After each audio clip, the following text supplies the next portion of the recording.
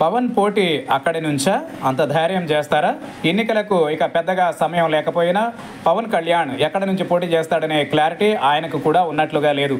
గత ఎన్నికలలో రెండు చోట్ల పోటీ చేసి మరీ ఓడిన పవన్ కళ్యాణ్ వచ్చే ఎన్నికలలో పోటీ చేయబోతున్నాడనేది జన సైనికులకు కూడా క్లారిటీ లేని అంశమే. కాపుల జనాభా గట్టిగా ఉన్న చోట పవన్ పోటీ చేస్తారనేది మాత్రం క్లారిటీ ఉన్న అంశమే.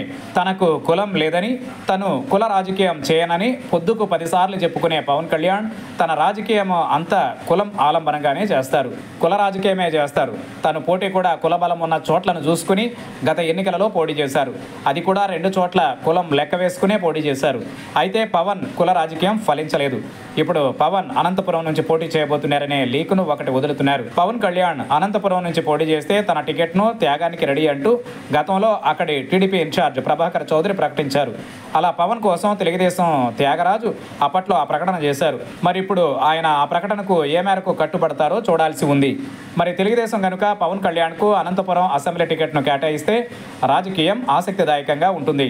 అనంతపురంలో పవన్ పోటీ అనే మాటకు కూడా కారణం కులమే. దాదాపు అరవై వేల బలిజ ఓట్లు ఉన్నాయి అక్కడ.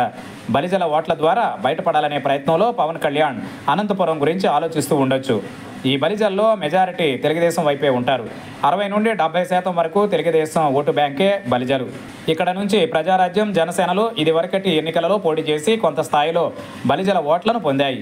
మరి రేపు పవన్ పోటీ చేస్తే తెలుగుదేశం కూడా మద్దతే కాబట్టి గంపగుత్తుగా పడతాయనే లెక్కలతో పవన్ ఉన్నారు కాబోలు.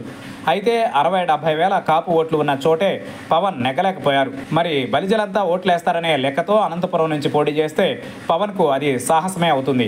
అందులోనూ తెలుగుదేశం లోపాయికారిగా పవన్కు సహకరించకుండా ఓడించేసి పవన్ రాజకీయానికి పూర్తిగా చెక్ పెట్టే అవకాశాలు ఉండనే ఉన్నాయి అందులోనూ తెలుగుదేశం లోపాయికారిగా పవన్కు సహకరించకుండా ఓడించేసి పవన్ రాజకీయానికి పూర్తిగా చెక్ పెట్టే అవకాశాలు ఉండనే ఉంటాయి.